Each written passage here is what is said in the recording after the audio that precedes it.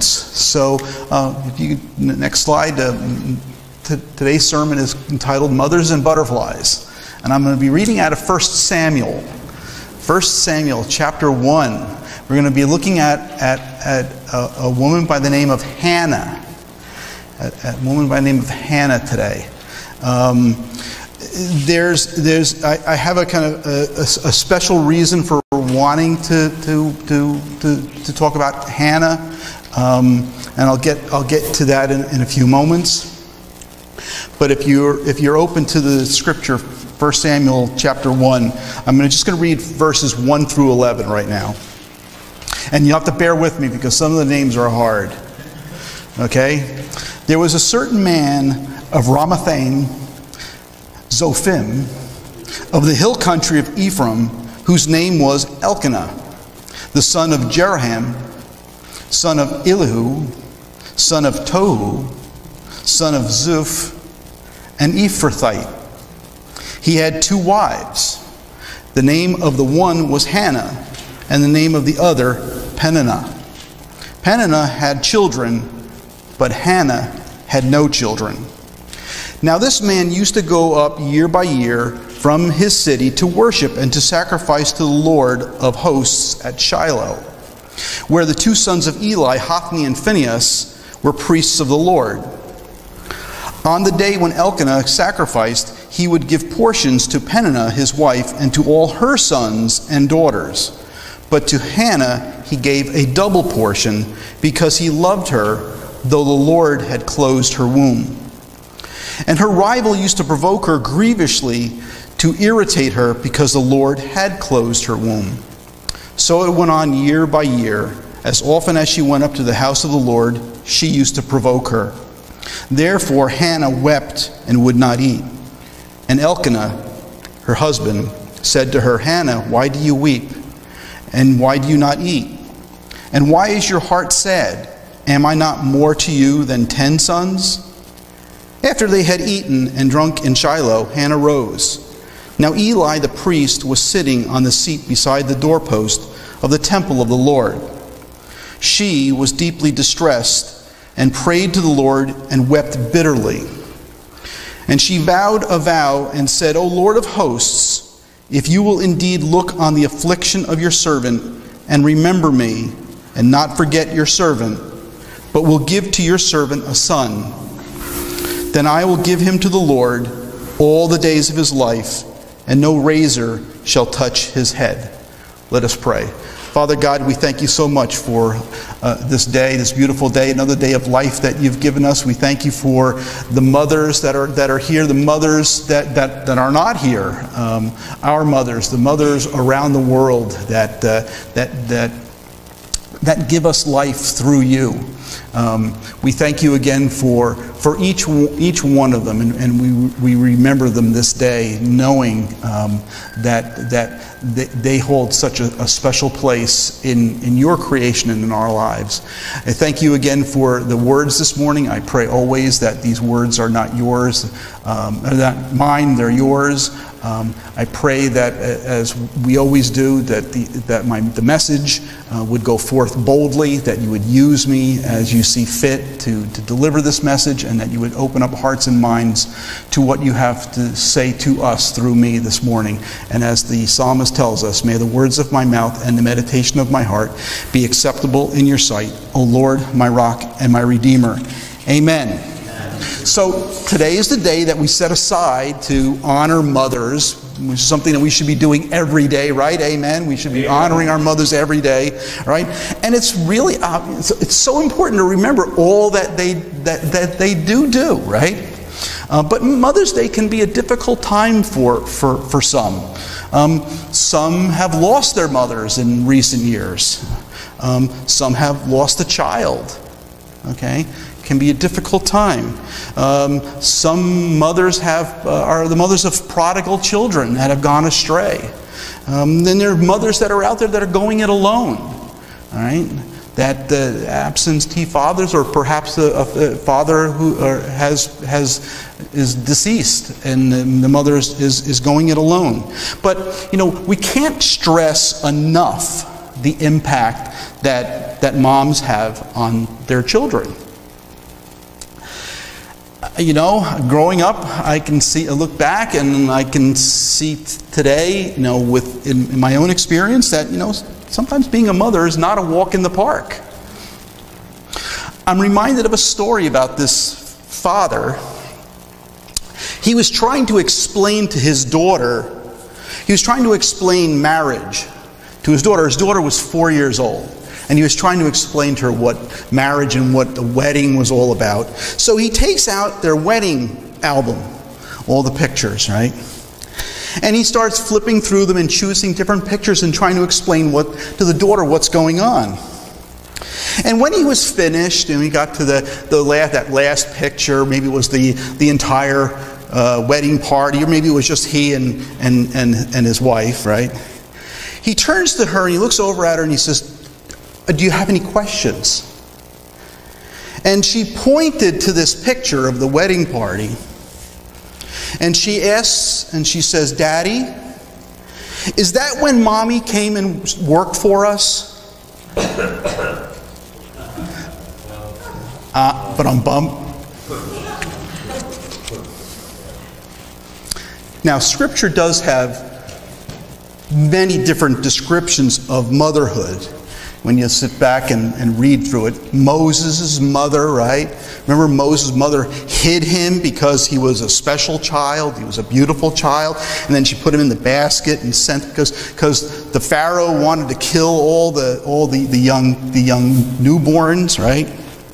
Um, there's if remember the story in in uh, with Solomon and the mother, they were disputing over whose child it was, all right? And the one woman said it was her child, and the other woman said it was it was her child, and there's this dispute, and, Mo, and uh, Solomon had to come up with a, a, a, brilliant way of deciding it. And it turns out, when you read it, it says that, um, that she was willing to have her son taken away rather than any harm to come to, the, to that child. There is the mother of James and John, right? Remember them? That they came, she came up to Jesus. She loved her son so much that she wanted them to sit at Jesus' right hand and left. Okay? Now she got the scripture all wrong, okay? But nevertheless, she went, she, she loved them that much. There's, um, there's Proverbs 31. Most, most of you know Proverbs 31, an excellent wife it talks about, right? But the interesting thing about about um, Proverbs 31. In fact, I even thought of preaching on that this morning. All right, it was written not by Solomon, but by uh, King Lemuel. All right, um, and the first verse of Proverbs 31 tells us that Proverbs 31 is advice that he received from his mother. And then when you read the rest of it, he says, an excellent wife who could find, and, and so forth. But he received that from his mother. So, we're going to talk about moms today. When I grew up, I grew up in probably a, a decidedly middle class neighborhood. My mom stayed home while dad went to work while he, he foraged and, and, and did all those things, right? And most of the moms in the neighborhood did the same thing. The moms were mostly home and, and, the dads went to work. My dad was a butcher. He was blue collar, as they would describe it. It seemed that most of the other dads in the neighborhood were white collar jobs. They went to offices. They flew around the country on business and so forth. So it was kind of it was kind of different. But we lived well. We didn't have the fanciest house. We didn't have the newest cars, and we didn't have a lot of the other extras it seemed that, that the others had, but we managed, and mom took care of us. She probably stretched a dollar as far as it would go each, each day. Right? And she was always there for myself and my brother when we got home from school, and she fixed dinner, right? And later on, when we got older and we were sort of able to take care of ourselves, she did go back to work, but she was always home to make sure we did our homework and to make sure supper was on the table. And now, today, she would probably be looked down upon. And I'm not saying that that is the way that things ought to be, but she was okay with that. She was okay with that. I think that that's what she thought and felt as though that she wanted to do in, in life, is to be uh, a mom and uh, a spouse. Now, growing up, I'm sure that you've had conversations with your own moms about life and things, and mom nurtured and guided and so forth. You know, I don't really remember too much about what my mom said to me as far as earthly or, or worldly advice. Those, those mother's words of wisdom or pearls of wisdom, I don't really remember. But, you know, fortunately for me, my, my mom is still, is still around. She's 94. She's going to be 95 in a short period of time. Joan's mom is uh, 99. She's 99 and looking good and doing fine. All right? She's doing all right. But you know, I think about some of the things that my mother said to me, and it seemed like it came straight out of the mom's handbook, the mom's playbook, as it were. And maybe you can probably relate to some of this, right? First thing is, is that my mother taught the importance of prayer. For instance, if I spilled something on the rug, my mother would say, You better pray that I can get that out and it doesn't stain the carpet. Right? My mother, huh? There's a handbook for that? My mother was a master of logic. She was. Every time I asked her why, her response was, Because I said so. That's why. Perfect logic, right? My mother was always concerned about the future. When it was time to get dressed in the morning, she would always tell me, make sure you wear clean underwear in case you get into an accident. Always concerned about what was going to happen next, right? And, and she had a knowledge of meteorology, of, of predicting the weather, because my room always looked like a cyclone hit it. Right?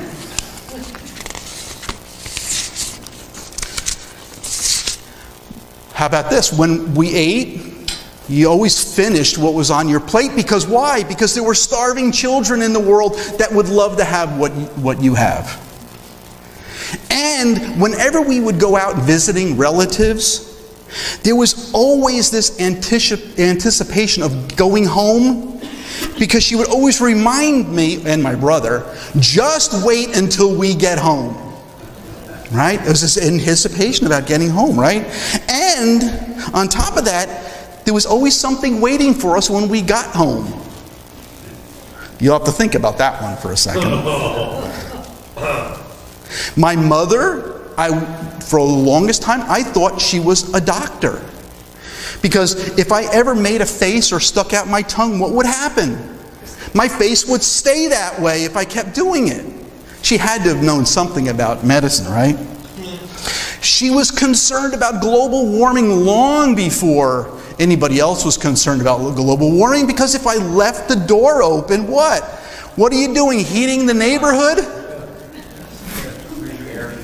Or air conditioning, right? Air conditioning, right? Living in a barn. That was that was the next one, Bert. Living in a barn, right? Yeah. And perhaps you probably know some of those pearls of wisdom from your own mother. But I will tell you this one thing is true for myself that when I got, as I got older, I did understand just as she had prophesied. Because she always used to say, One day you'll understand. One day you'll get this. And you know what? I did. But all kidding aside, this Mother's Day, I can't say more. I, I, I can't say enough about my own mother and I was blessed with another, another mother when I married Joan. As a matter of fact, one of the best pieces of advice that my own mother gave me was the day that she met Joan for the first time. Joan came, came over to visit, and I introduced my mother to Joan. And then when Joan left to, to return to her to home, my mother turned to me and said, If you don't marry her, you're crazy.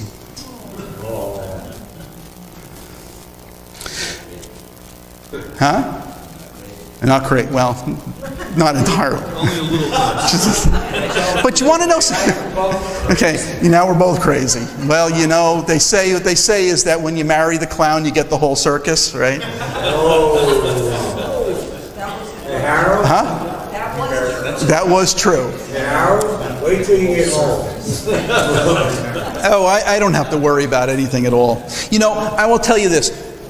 When I was about six or seven, and we lived in, in West Caldwell, um, there was this open field near the house that, as kids, we used to go and play.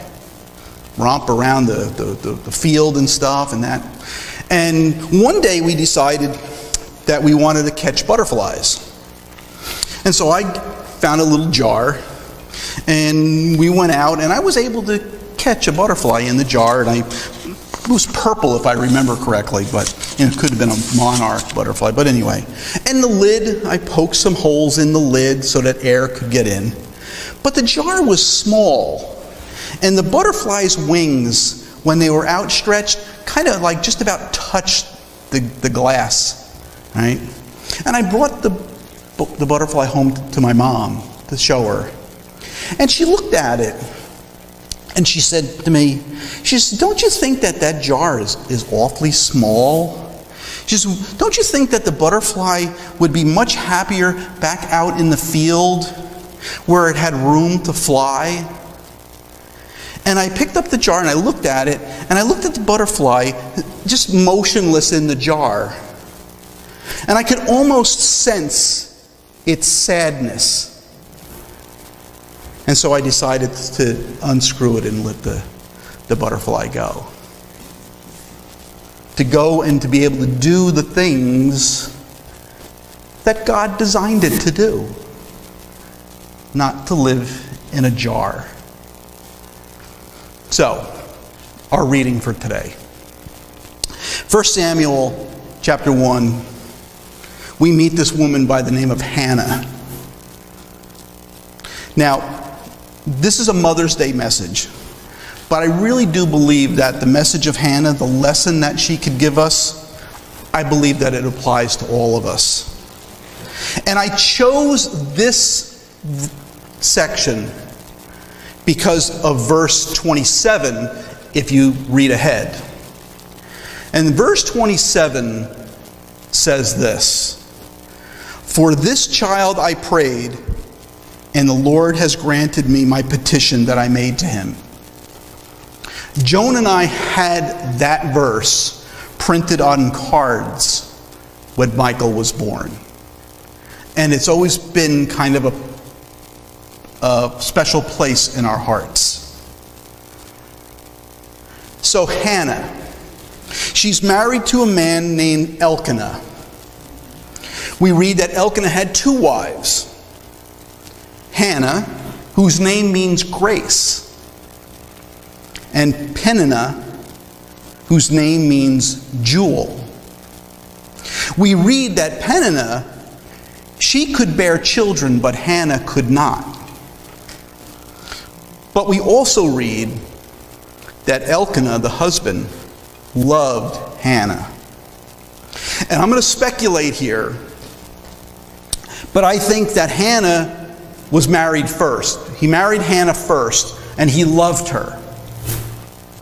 But when he noted or when he realized that she could not bear children, okay, because of the society that they lived in, he then married this other woman, Peninnah, who could have children, but he continued to love Hannah. We read that Elkanah was a devout man. He would go to the temple to worship and to sacrifice. We read on the day that he would go to sacrifice, he would give portions to Peninnah and to her children. But to Hannah, he gave a double portion because he loved her, even though the Lord had closed her womb. Now, I'm not even going to speculate as to why God chooses to do things the way that He does them. Why are the, the women? Why are some of the women's wombs closed? Closed, as they would they would say. I don't know. Okay, but when you read through Scripture, the women that are described as having a closed womb or past childbearing years it's generally that way until God intervenes. For whatever his plan is, he has one.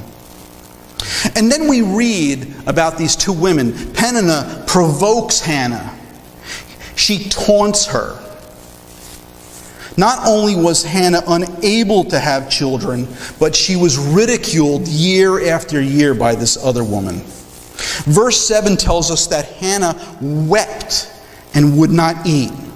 And then her husband comes over to her and tries to comfort her, and I guess not doing a very good job about it, okay? But he does come to her. But what we find here is that Hannah knows something that her husband Elkanah does not know all the wives in here are probably nodding their heads anyway that that's true in any case but she knows something that her husband doesn't know and she knows that the source of children is not from her husband the source of children is from god Psalm 127, verse 3 tells us, Behold, children are a heritage from the Lord, the fruit of the womb a reward. All right? And we, can, we read further in verse 10.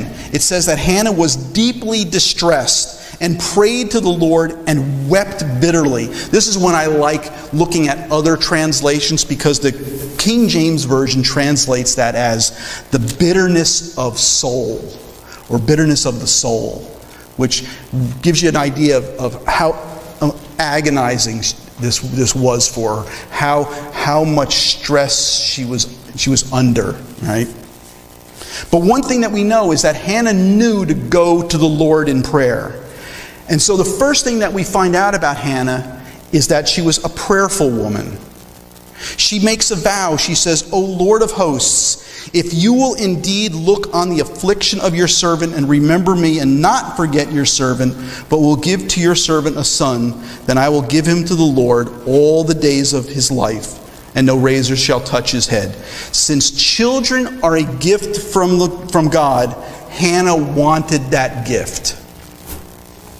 And so then we read, while she's praying, Eli the priest is watching, and he sees her lips moving, but no, nothing is coming out so he thinks. And so naturally, I guess, he thinks that she's drunk. And Hannah tells her, tells him, No, Lord, I am a woman in a troubled spirit. All right? I have been pouring out my soul before the Lord. And she says, Do not regard your servant as a worthless woman, for all along I have been speaking out of my great anxiety and vexation. I'm pouring my soul out to the Lord. And so Eli tells Hannah, Go in peace, and the God of Israel will grant your petition that you have made to him. And then she says to Eli, Let your servant find favor in your eyes. And then the woman, Hannah, went her way and ate, and her, voice, her face was no longer sad. Her countenance was lifted she was no longer sad. She went to, the God, to God. She worshiped, she wept, she prayed. But importantly, Hannah believed God. So, what we see next is that Hannah's faith was strong. And so, Elkanah and Hannah, they return home, and we read that Elkanah knew Hannah, his wife, and the Lord remembered her the Lord honored her prayer. And then we read, In due time, Hannah conceived and bore a son, and she called his name Samuel. For she said, I have asked for him from the Lord. And that name Samuel comes from the Hebrew, which means heard of or heard from God. Whenever you, generally, whenever you see in someone's name that EL, That's God. So it's a descriptive part of the name. And so then we read further that when it came time to wean the child, so that Hannah could uh, bring him, um, uh, so that he may be, be appear be, uh, in the presence of the Lord and dwell there forever. So she was weaning Samuel, and that she was able to bring him to the to the priest. So she fulfilled the vow that she made. She had made this vow in the presence of Eli, but more importantly, she made that vow in the presence of the Lord. And so she takes Samuel to the temple, to, the, to Shiloh, to the Lord. And she sees Eli the priest there. And it's basically, it's like, do you remember me? I was that woman all, the, all that time ago. And she says, Oh, my Lord, as you live, my Lord, I am the woman who was standing here in your presence praying to the Lord. And in effect, what she's saying is, Here is the child that I prayed for. And then comes verse 27. For this child, she says this, for this child I prayed, and the Lord has granted me my petition that I made to him. Therefore, I have lent him to the Lord. As long as he lives, he is lent to the Lord. And then in chapter 2, Hannah prays again. I'm not going to go into the entire prayer, but when you have an opportunity, look at it. Chapter 2 in 1 Samuel but it's the first verse that catches me, where Hannah prays and says, My heart exults in the Lord. Okay? It doesn't say that she prayed and was exalted the Lord when she got pregnant or even when she gave birth, but she exalted the Lord when it was her opportunity to hand the child over to God. Hannah rejoices that God has answered her prayers and that she has been able to fulfill the promise that she made. And Hannah understood and trusted in Proverbs 22 6, where it says, Train up a child in the way he should go, even when he is old, he will not depart from it. Hannah's work was done. She released him to the Lord to do the work that God had created him to do. Just like that butterfly was released. And we follow Samuel later through, through this book that bears his name, that as he grows, we read, the boy Samuel grew in the presence of the Lord. He grew. Samuel continued to both grow in stature and in favor with the Lord and also with man. So, this message celebrates Hannah, the mother of Samuel. But it celebrates, I hope, mothers that have taken it upon themselves to nurture children to release them into the world. As I think Robert prayed this morning, we look out at the world and we see problems. We do. We need to be able to nurture children in the Lord to be able to make wise choices, to grow in stature and character like Samuel does. If you follow his life through the, the, the, the, the other chapters to see what kind of a man he was. We celebrate mothers. We look at Hannah. For her, it was a life that was difficult. But through faith and prayer, and keeping a focus on God. She did the things that she was designed to do. But really, when you get down to it, this is a message for all of us. Scripture tells us in many places for the older women to bring up the younger women, for men to come up alongside each other, to come up alongside the young men, to be a mentor.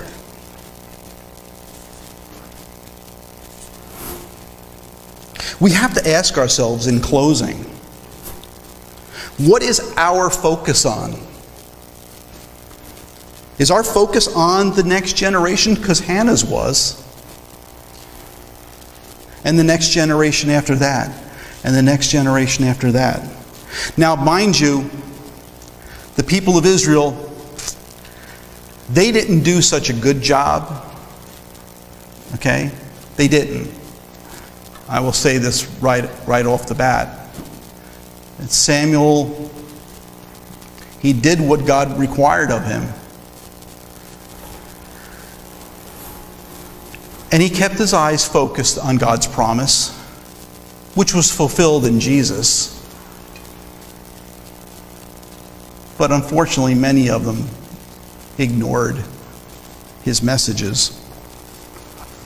But we have to ask ourselves again what is our focus on? What are we passing on to the next Samuel?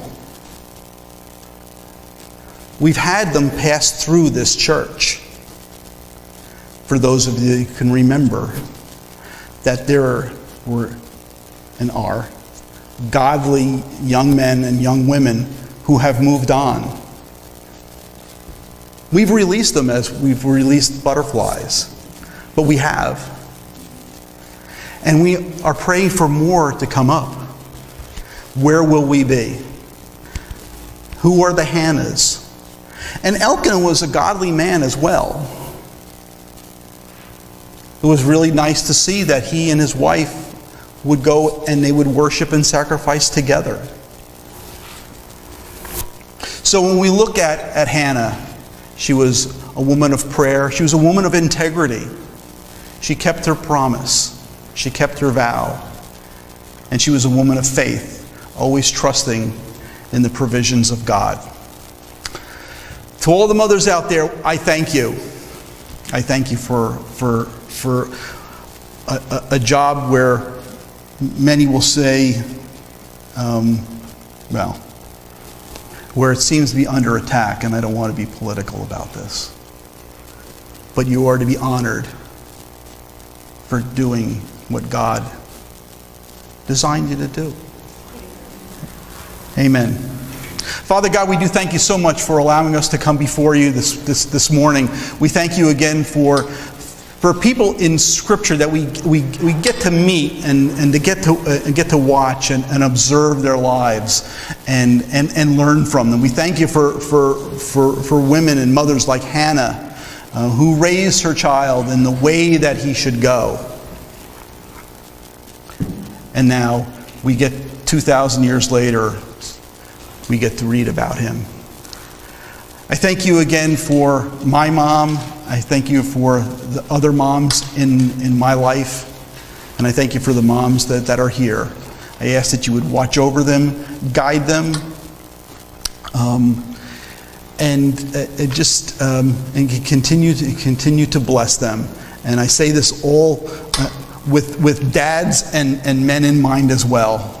That, uh, that that that we're all in this together, and that we should love and, and honor our, our wives and the, and, and the women that, that, that, that are moms. Um, I thank you again for this, this message. I pray for each one here. Um, go out, fly, and do the work that, that, that God has prepared each one of us to do. Um, and that in all the things that we put our hands to, that you would be glorified. We thank you for Jesus as we w- await his return as we await his return. And it's his, in his name that we pray. Amen. And we have another song.